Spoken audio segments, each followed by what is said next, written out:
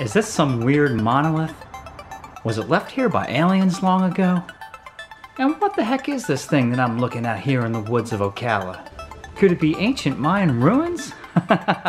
well, not likely. But join me in this video and you'll find out.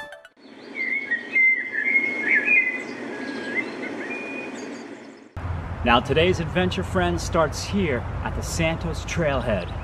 And apparently we've got high bear activity in this area. It says do not feed or approach the bears. Don't worry, I will not be approaching the bears. and we are on the Florida Trail. There's the place. All right, now we gotta cross the road get in there. Now as you can see on the map, I'm heading to what they call the island. It's this little patch of woods between these two roads. Where we enter to get inside there, I'm not sure yet. Let's walk around a little bit and figure this out. Ah, beauty berries. Now if you're ever trapped in the woods, you're lost, and you don't have any food, you can eat these little guys.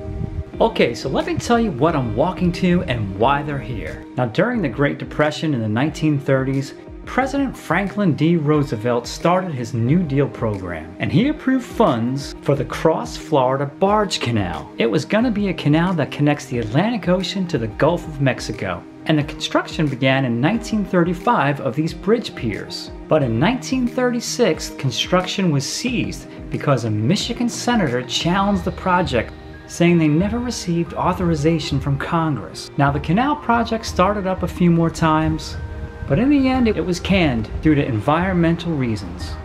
And now, friends, these supports remain.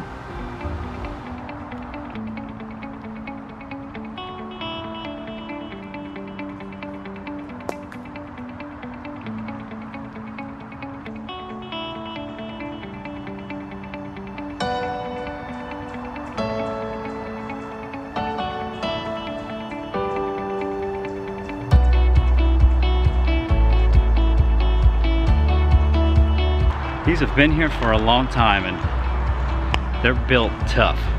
They're not going anywhere. Nothing's gonna knock these down. they're here to stay.